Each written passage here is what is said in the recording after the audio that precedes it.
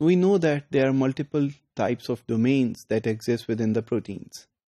So in this module, I'm going to show you how to organize different proteins with these different domains into a specific scheme.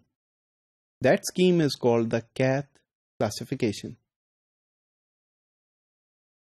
So you know already, as I just mentioned, that the domains can be classified into classes and that the classes can actually be organized further into architectures and then to topologies and then homology.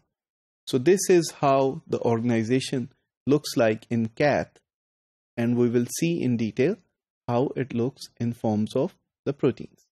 So CATH is essentially an acronym built from class, architecture and topology and of course there is H that is for homology. So if you want to classify the proteins based on their class, then you can look at the domains that exist within that protein. So as you know, there can be alpha domains, there can be beta domains, and there can be alpha and beta, alpha plus beta, alpha over beta, so on and so forth. So in this example, I'm going to give you how alpha and beta can be classified into an architecture. So here, alpha and beta would mean that you have alpha helices and beta sheets that are mixed together and then you can organize them into various different combinations. The first one is the TIM barrel. So you have the alpha helices surrounding the architecture and then you have the beta sheets right there in the middle. Similarly, for a sandwich, you have the beta sheets in the middle and you have the alpha helices surrounding them like that. And for a roll, you have the alpha helix like that and you have the beta sheets that are rolling over this alpha helix. So these different types of combinations can be created by the alpha helices and beta sheets in alpha and beta architecture. Moreover, let's consider the example of the sandwich. So there can be multiple topologies for each sandwich. For instance, here you have the beta sheets and the alpha helices are at the outskirts of the domain. Here in the second example, the alpha helices are in a different conformation while the beta sheets are here like that.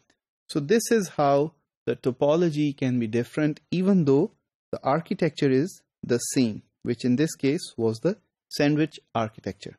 So from this figure, it is obvious that the highest level of organization is the topology, followed by an architecture, and below that is the class or the domain.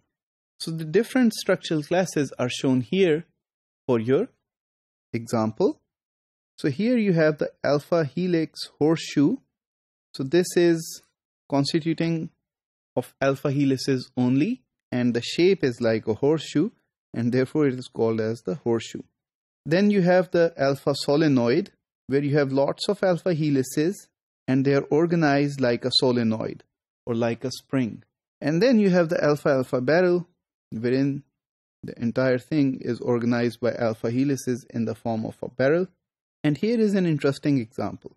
So this is a beta propeller and the shape of the protein is actually like a propeller.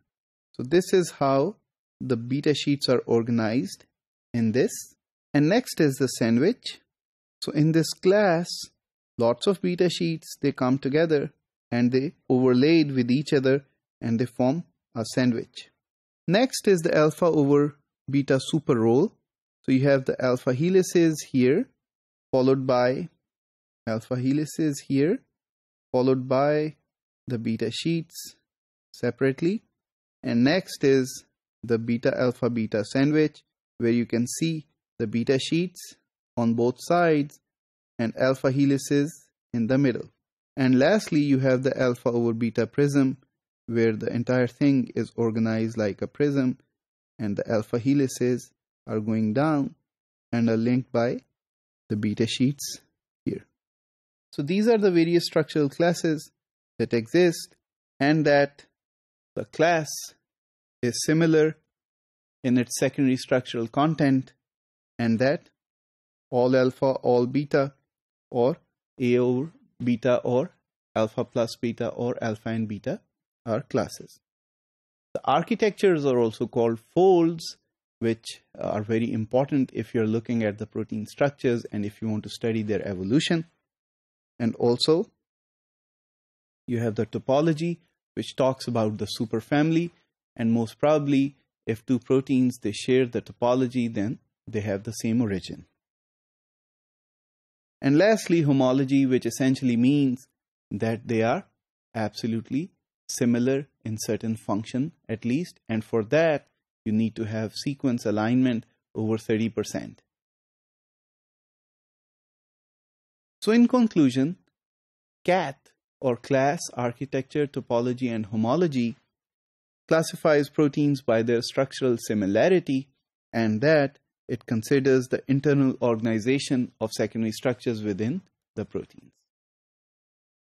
And you can essentially have databases of protein structures based on such a classification.